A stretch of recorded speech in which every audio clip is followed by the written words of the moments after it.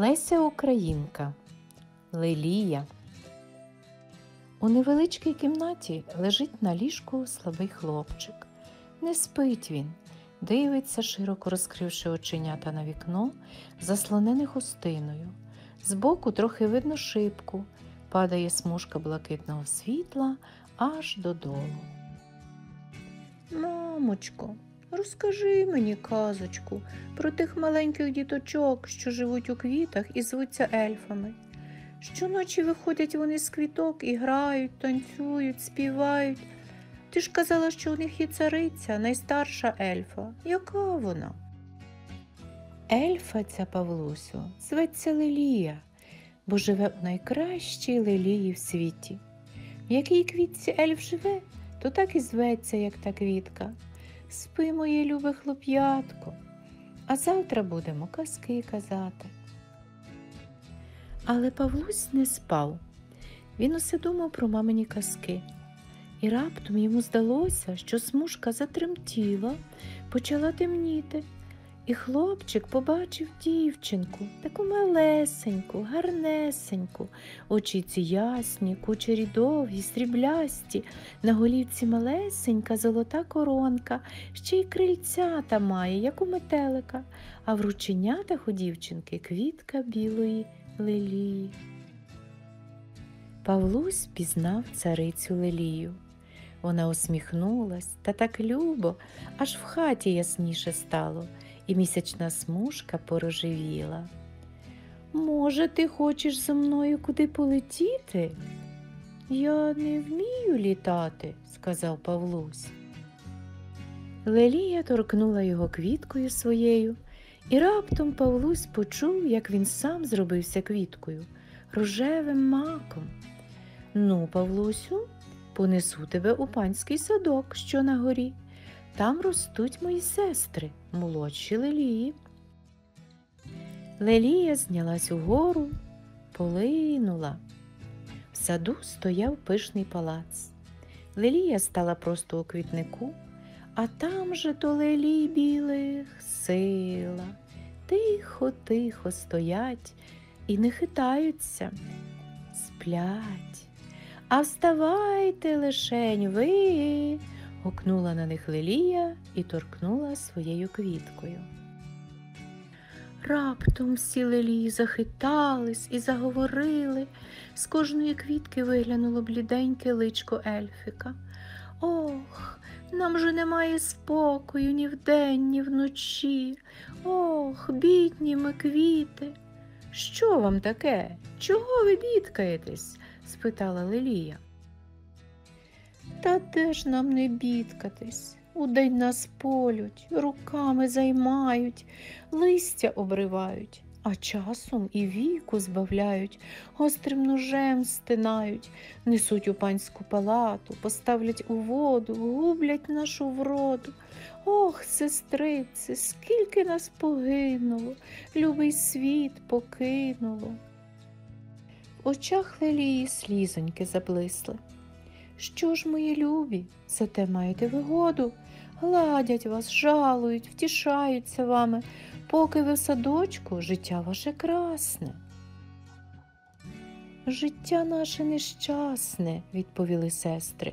Веселі співи гучні, музиченьки бучні, не дають нам спати до півночі. Темненької ночі ми до сну охочі, головоньки схилимо біленькі. Де візьметься панство вельможне, заможне? Коли се очинилися в палаці великі скляні двері, і вийшла молода панна. Як мені тут все обридло, і сей садок, і сей дім, і квітки, а пахнуть як, аж в голові морочиться. Шкода стало Лелії своїх погордованих сестриць. А де ж моя сестра наймолодша? спитала, показуючи на порожнє місце з краю. Віддала сестрицю наша панна, випросила дівчина Мар'яна за щиру свою роботу влітку. Треба буде її відвідати, як там вона в іншому садочку мається, мовила Лелія і хотіла ще про щось розпитати, але Павлусь попросив летіти далі, бо Лелії засмутили його своїми розповідями. Лелія знялась вгору, і в одну мить Павлусь побачив велике місто, блискуче світло, розкішні крамниці, у вікнах яких було виставлено багато всякого дива. Там і ляльки, там і цяцьки, там і ласощі різні, і золоті оздоби, і сукні коштовні, і книжки з малюнками. Лелія спинилась біля одної дуже великої крамниці. Там у свічному вікні стояло багато квітів рожі, лелії усяких барв, конвалії, фіалки. І всі ці квіти у віночки звиті та в пучечки пов'язані, та все таки розкішні та красні, аж сяють. Павлусь аж руками сплеснув. Леліє, поговори з ними, нехай вони тобі щонебудь розкажуть. Ні, Павлусю, вони не можуть говорити, бо не живі. І ельфи не сидять в таких квітках, бо ці квітки не справжні, вони зроблені, через те не пахнуть і листя мають грубе. Павлусь спитав, хто робить ці квіти. Знялася Лелія вгору з Павлусем аж на четвертий поверх тої ж таки самої кам'яниці. Хлопчик побачив кімнату з голими стінами, брудними, серед хати довгий стіл, нічим не накритий а на столі купа різних шматок, друтів, ниток, фарби різні, позолота. За столом на лавках сидять дівчата, убрані по міському, але надто убого, запнуті брудними фартушками. Кожна дівчина має ножички і багато маленьких щипців, колодочок, лищаток.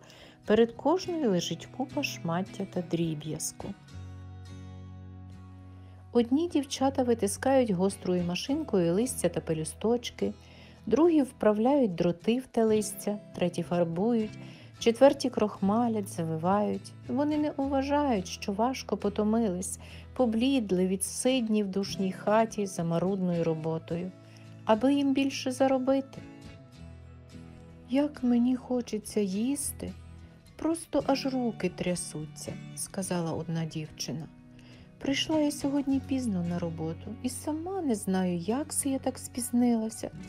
Та от мене не пустили обідати, та ще й кажуть, що не заплатять за цей день нічого.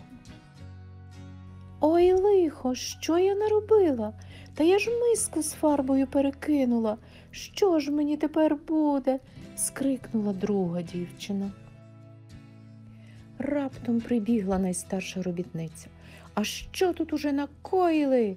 гукнула вона та так грізно й голосно, що Павлусь аж затремтів. Ой, Лиліє, неси мене звідси, тут погано, бридко, страшно. Лелія миттю спустилася на землю. Полетімо до моєї молодшої сестриці, що росте у селянки в садочку, сказала вона.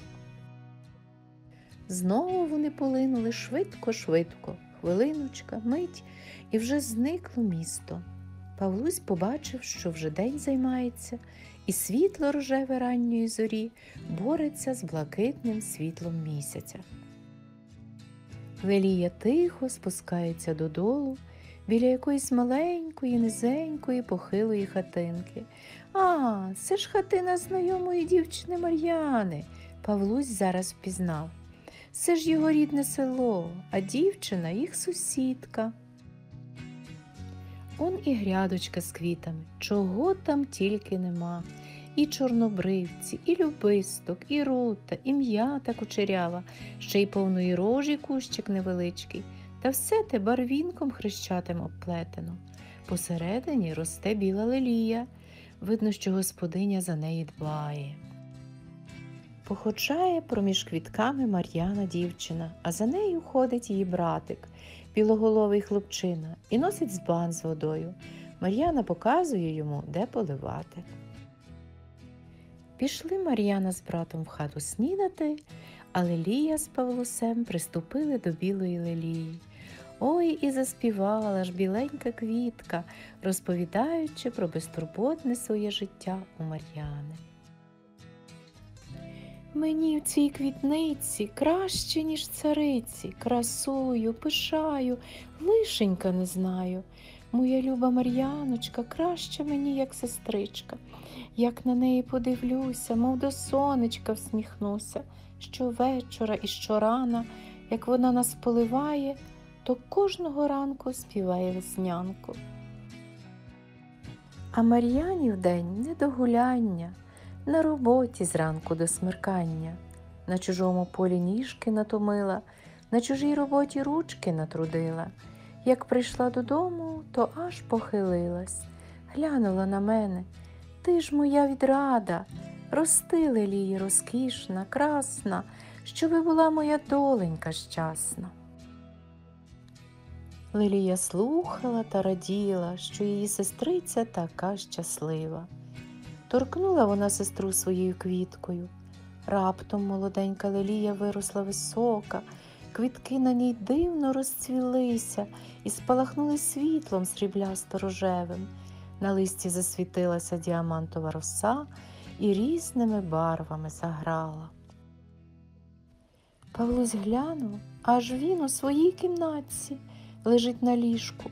Лилія, рожева, мов хмарка на сході сонця, нахилилася до нього, кивнула голівкою і зникла.